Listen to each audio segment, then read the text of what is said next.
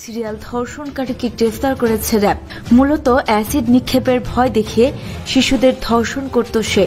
এমন একটি মামলায় যাবজ্জীবন সাজাও হয় তার।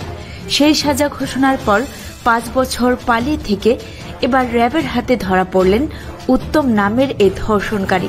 অ্যাসিডে ঝলসে দেখার ভয় দেখিয়ে দশ বছরের এক শিশুকে ধর্ষণ মামলায় উত্তম তালুকদারের যাবজ্জীবন সাজা হয়। সাজা থেকে বাঁচতে দীর্ঘ পাঁচ বছর পালিয়ে বেড়ালেও শেষ রক্ষা হয়নি তার।